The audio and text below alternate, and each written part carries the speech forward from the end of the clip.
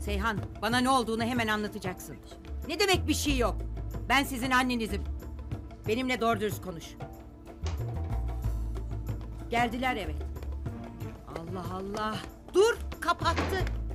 Ay ne oluyor Allah aşkına? Bahar seni de mi yolladılar? Bir şey yok anne. Güvenlik için evde olmamız daha iyiymiş. Seymen öyle istedi.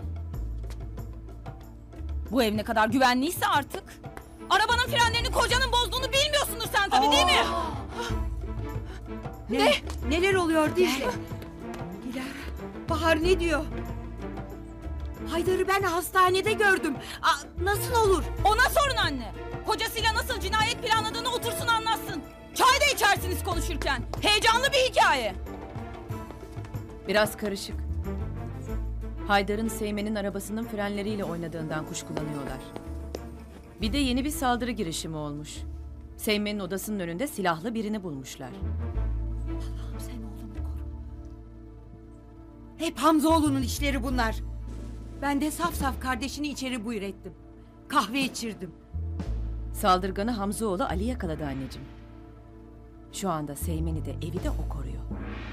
Ne?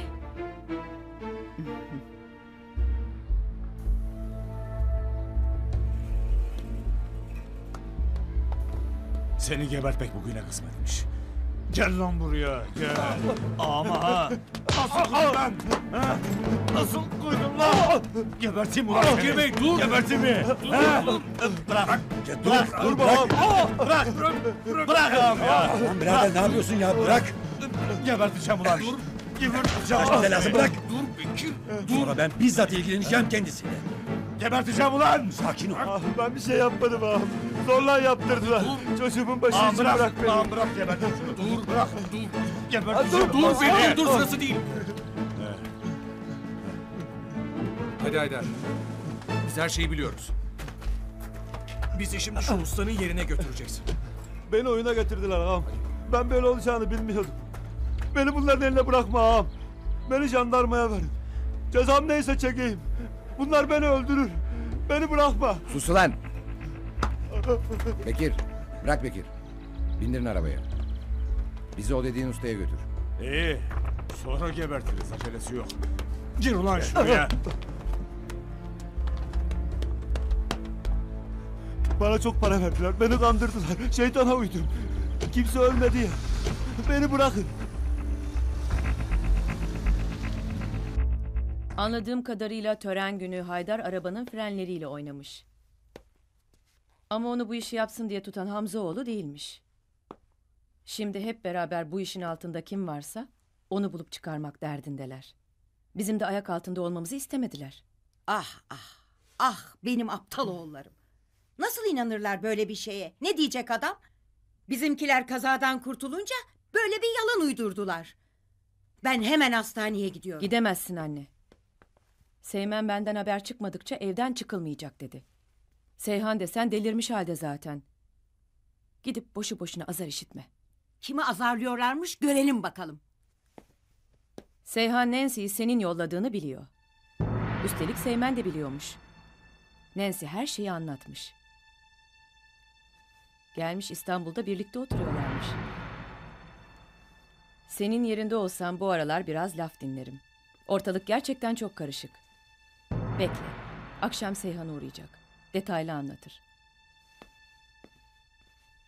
Aa, ee, Kader buradaymış. Hiç anlatmıyorsun. Ne dedi? Ne zaman isterse babasının mallarını kızın üstüne yapalım. Dilara avukatını yollasın dedi. Sen ne dedin? Aman kızın mala mülke ihtiyacı mı var dedim. Vasisi benim. Fazla mal göz çıkarmaz. Hem Seymen'i de bana harçlık verme zahmetinden kurtarmış olurum. Fena mı? Harçlıkmış. Senin aldığına harçlık demek biraz insafsızlık olur. Neyin eksik Dilara?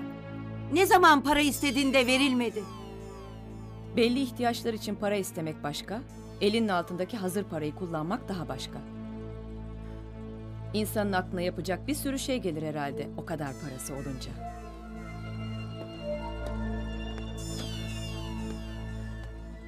Bunlara ne oluyor böyle?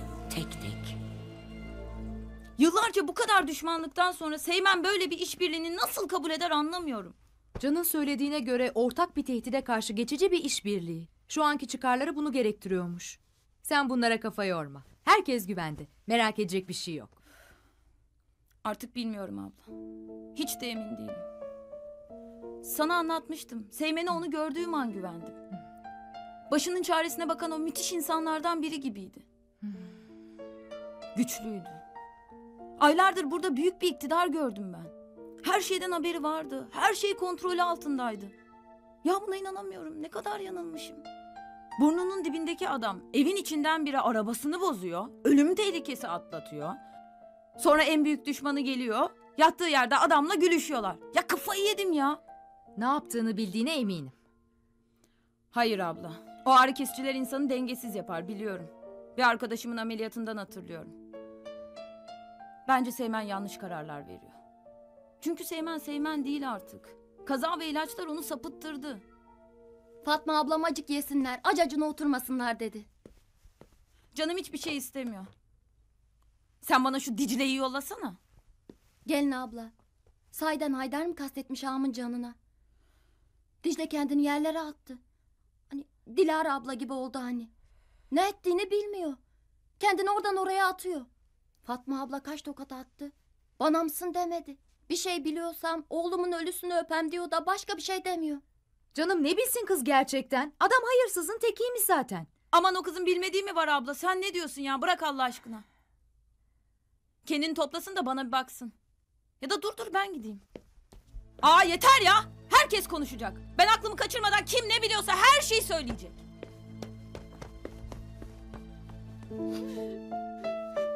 Kes ağlamayı artık. Ben sana inanıyorum. Sen benim kızım sayılırsın. O pislik cezasını çekecek. Sana da ettiklerini biliyorum. Bak ablam. Geçen de bunu almış. Bir de 150 milyon bulmuş Dicle dolapta. Belli işte. Ah, keşke o zaman haberimiz olsaydı. Ne yapar eder konuştururduk. Kızım hiç sormadın mı bu parayı nereden buldun diye? Ben içiyor diye harçlığınızı sana veriyorum. Beş kuruş parası yoktu ki onun. Hiç sormadın mı bunu kim verdi diye? Sormam mı Sümbül anne? Amcam verdi, Bekir abi verdi diye geçiştirdi. Israr edince de dövdü. Ben bu kadına inanmıyorum. Bu hep bir şeyler saklıyor. Nereye gitse Seymen'i izliyor.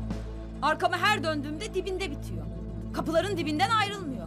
Seymen'in ne yapacağını herkesten önce sen biliyorsun değil mi? Anlat, anlat kocana kim yaptırdı bunu? Vallahi ablacığım benim hiçbir şeyden haberim yok.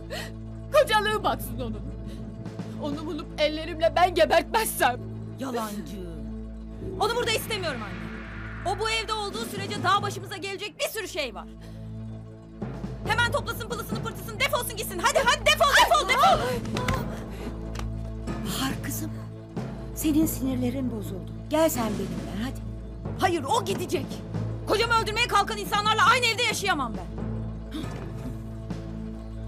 İyi tamam. Ben giderim, o kolay. Ama çocuk burada kalacak. Gel yavrum. Gel yavrum yavrum. Hadi gel kızım.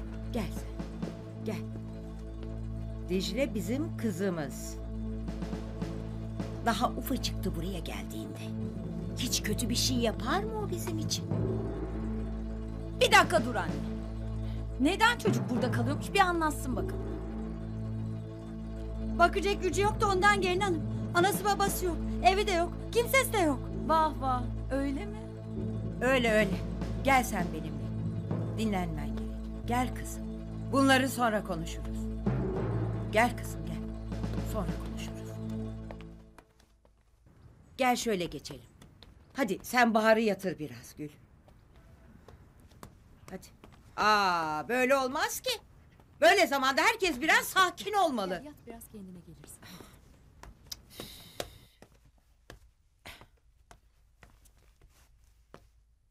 Bu gelin çok akıllı. Sen yandın anne. Bir de seninle uğraşamam Dilara.